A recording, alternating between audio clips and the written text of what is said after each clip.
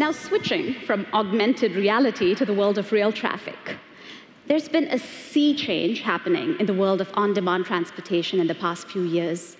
And we noticed that several of these businesses used our Maps API products to build products that weren't really fully meeting their needs.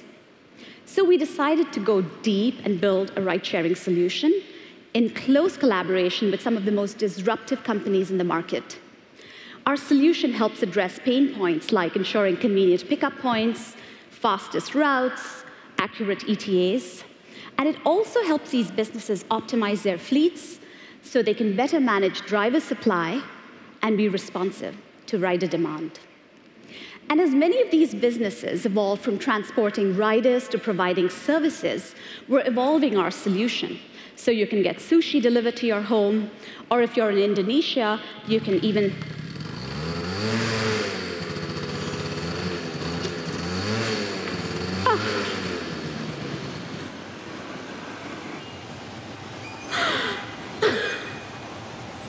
Hello, Gayatri. Didn't you expect me over here, did you? Hi.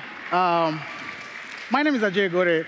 I'm a group CTO at Gojek. Um, Gojek is Indonesia's largest transport, food, payments, and lifestyle startup. We started in 2015 uh, from 5,000 orders per day, and now we are doing around 3 million orders per day. That means we have to take around 2.5 million customers every day across Jakarta which is, more, which is like thrice the Jakarta's public transport. That also means that to get this scale, today we stand around 80 million downloads. We have around 3.5 million customers on us every day. At any point of time, we serve 2.5 million customers, figuring out various food, demand, on-demand ride-sharing, and transport services. And that also means that Gojek today is the single market largest food delivery application in the world except China. At core of it, what it means is that we have to match the right driver with the right demand of the food and product. Whether it's carrying a human across, whether it's sending a package, whether getting a, your lost wallet from home, or whether getting your food for your, food for your lunch. All these things has to happen within no time.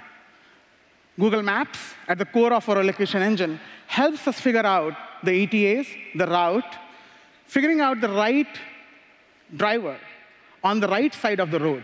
One of the biggest problems we have, when you are off by, say, five meters, you can be on the other side of one way of five kilometers, and you can be reaching in 25 minutes instead of five minutes.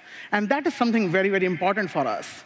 Given all this stuff, Google Maps with the routing and ETA and route optimization help us provide the better and, better and better services for our customers. On the other hand, when you look at a million drivers, 100,000 restaurants, 2.5 million customers every day, and having a 500,000 food deliveries going across Jakarta, it also means that we need to make sure that we take care of this data and the demand and visualize it better. For example, we do a driver ping every 10 seconds. That means we do 6 million pings in a minute. That means we do 8 billion pings in a day. That is just driver pings. If you look at the scale and if you look at the customer interaction, we store around 4 to 5 terabyte data every day. How do we tell our driver where is the demand? How do we tell our driver what is the right way to go? All this stuff is not possible if we don't have tools like BigQuery, Cloud Data Flow, Google Cloud Storage in our arsenal.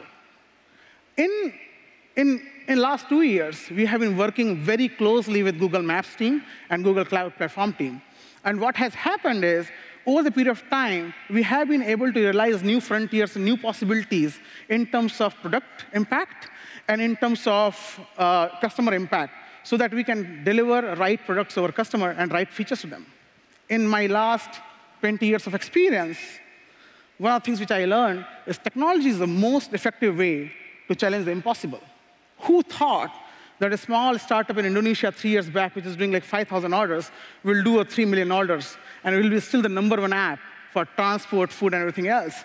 But if you want to challenge the technology in the most impossible ways, you need to have right intent, positivity, and most importantly, very nice partners.